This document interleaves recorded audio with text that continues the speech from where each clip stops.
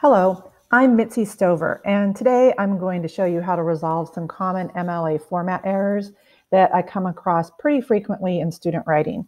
So let's get started. First of all, I'm looking at the first page of a document in MLA format, and I can already see before I start to read it that there are some formatting issues that can easily be cleaned up. So let's see what they are. First off, you'll notice the header the header should have your last name followed by a space and then the page number.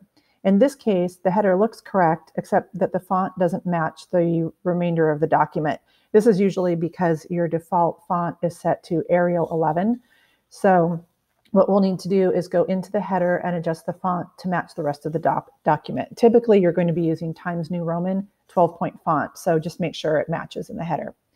The next error that we'll see comes over here with the heading. The heading should be double spaced, just like the rest of the document. In this case, it's single spaced. So I need to go in and highlight the heading and then change it to double spaced. The next error that I spot is the date. The date looks correct, except that in MLA format, it should be written like this. So instead of January 23rd, 2020, it should be 23 space January 2020. Notice there's no commas in the date when it's written like this. The next error that I spot has to do with the title. The title is centered as it should be and it follows the heading, but the font is too large. So your font of your title should be 12 point font, just like the rest of the document. It shouldn't be in bold, it shouldn't be underlined or italicized, just straight 12 point font. And the last error I see on this page has to do with this extra spacing here between the title and the first paragraph.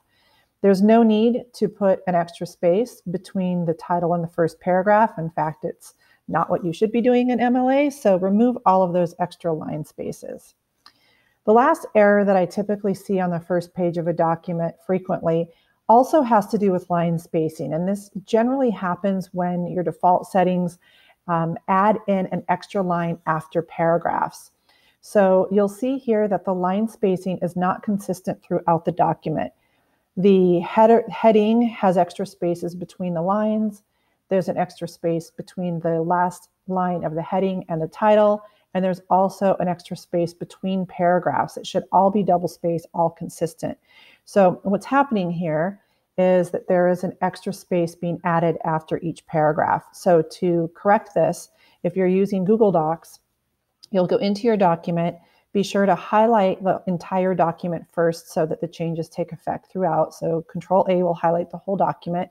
And then if you go up to the line spacing button on the toolbar, click it, and you'll see if you go down to near the bottom where it says remove space after paragraph, if you click that, it should remove all the extra spaces, and then your document will look like this, and you'll be good to go.